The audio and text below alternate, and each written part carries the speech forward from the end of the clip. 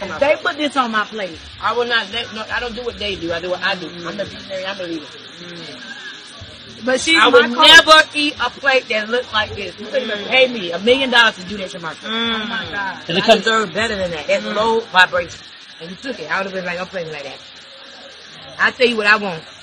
You don't tell me what I want. So my thought process is if you put it on my plate, but I don't have to eat it, I got the distance. I won't even look at it and look that make you look bad. I'm a queen. Queen's plate on like. Mm. If, I, if we have two plates, we play together, and so who's royalty? They would say this person. Mm. I agree. That's a good way.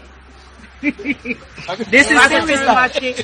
yeah, Cause yo- it's a lot of people that just let people give them what they want them to have. Mm. And they accept it. Mm. And Storm is teaching me right now. yeah, yeah. Whole Storm is teaching me, don't accept what they put on your plate. Mm. Stormy Wellington has always been problematic to a lot of people, but recently she went viral for picking at her friend's food plate for being low vibrational because she had burgers, wings, and other choices. Stormy said her plate is royalty in comparison to her friends, but she gave me the vibes that she's just trying to put someone down to build herself up.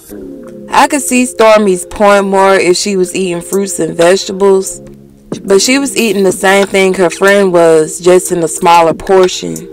I understand having the opinion of thinking meat is low vibrational because it was a live animal that was killed, but still, that's your opinion because the next person may feel food is food, circle of life, but you eating the same low vibrational, how you tell it, food as her.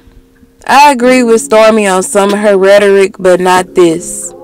And her friends were yes manning her to not make her mad, but I'ma always speak up. That's a lesson. That's so my, they going crazy on me right now. There's no way Tammy needed two hamburgers, two hot dogs, No. broken beans, No. potato salad, and four motherfucking drinks. But guess what? She had a friend and a coach and a Yes. spouse that she knows love her. That That's. That's right. No, I need y'all to hear this. They should be applauding me right now. Yeah, they I said if two plates, forget mine is my face. If your plate and my plate was put in a fork and they said who's the queen and who's the hood rat, they would say the plate with the two hot dogs, two hamburgers is the hood rat. You wasn't calling me a damn on. hood rat. That's why y'all gotta know who y'all are. Because see, your leave this weekend, look how this enemy works. Mm-hmm. People are gonna try to put in her.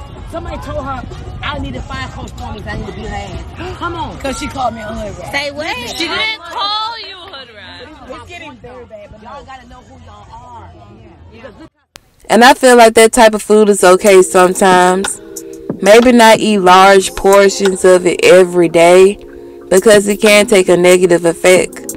But still, do you enjoy things in life and don't minimize yourself to make someone else feel big.